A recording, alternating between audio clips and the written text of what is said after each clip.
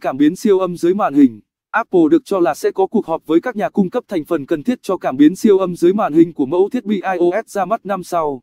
Trang Economic Daily News cho biết, chuyến thăm cấp cao giữa Apple và GIS, một công ty con của Foxconn, đã được lên lịch vào tuần tới để thảo luận về máy quét vân tay siêu âm dưới màn hình cho iPhone tương lai. Đây là công nghệ bảo mật giống như được trang bị cho Galaxy S10 và Note 10.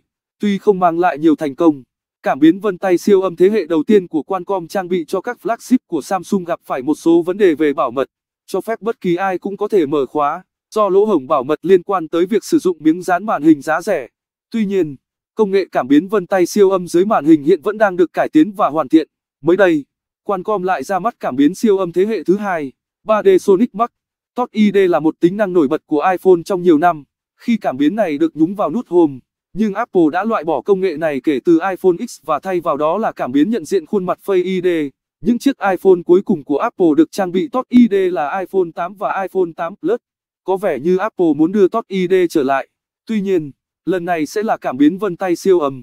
Cảm biến này sử dụng các sóng âm thanh và bộ giải mã để tạo ra hình ảnh hoàn chỉnh của dấu vân tay người dùng.